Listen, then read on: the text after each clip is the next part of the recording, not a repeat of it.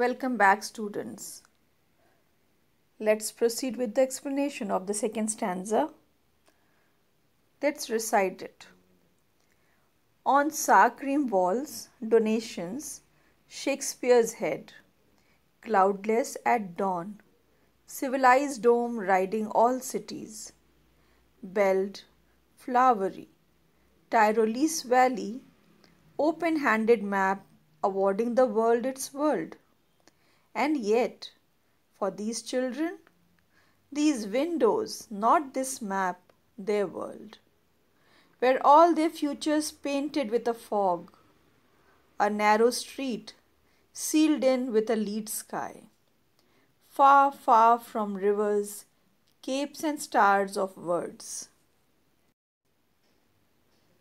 On sour cream walls, donations, Shakespeare's head cloudless at dawn civilized dome riding all cities, belt flowery Tyrolese valley, open handed map, awarding the world its world.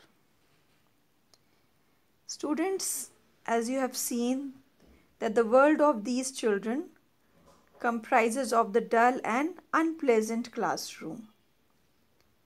The classroom was not well maintained. It was painted with dull, sour or you can say dull cream color with the help of donations. Somebody might have donated.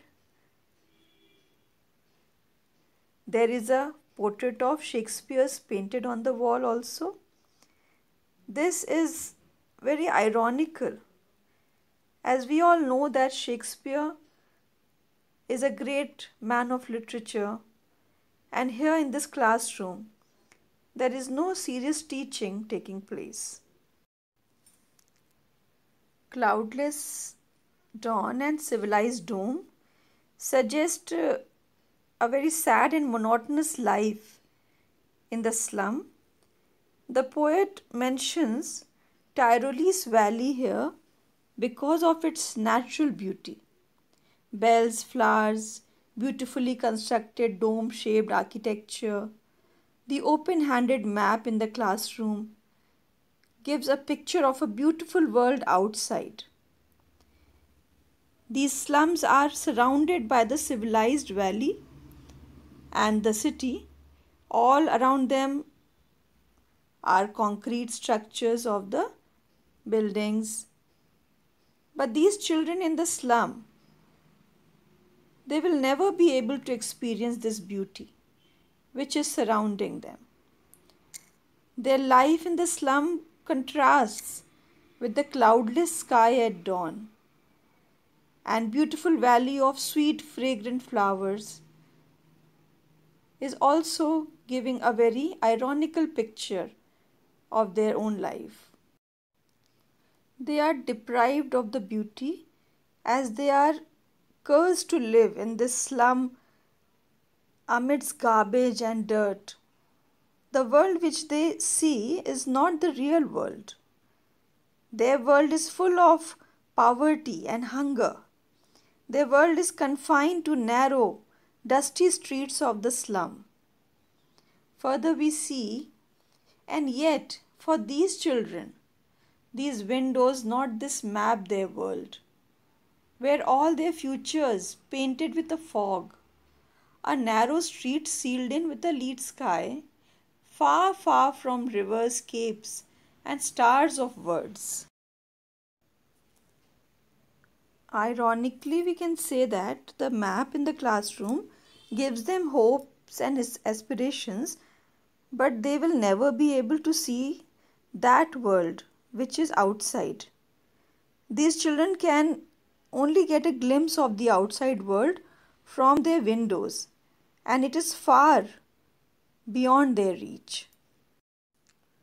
These children are far away from the glory of natural beauty of the rivers, mountains, and stars of words means education here.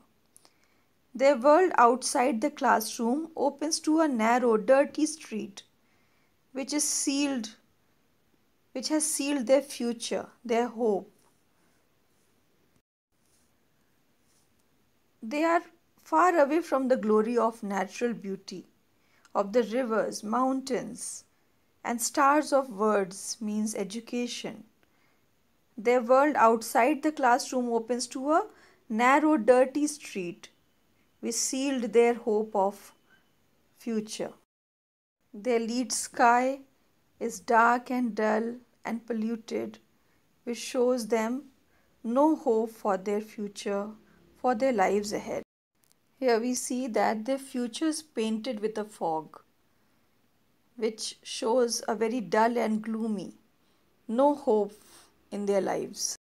Let us see the poetic devices. This poem does not have a rhyming scheme. It is in free verse. We can see metaphors being used here like sour cream walls. Here walls are described to be dull as sour cream. And another metaphor, narrow street sealed with a lead sky where we see that the future of these children is sealed or blocked. They are confined to this atmosphere of slum. Then we have assonance, which is a repetition of vowel sound words like belled, flowery, Tyrolese valley. So here we see that E sound is prominent.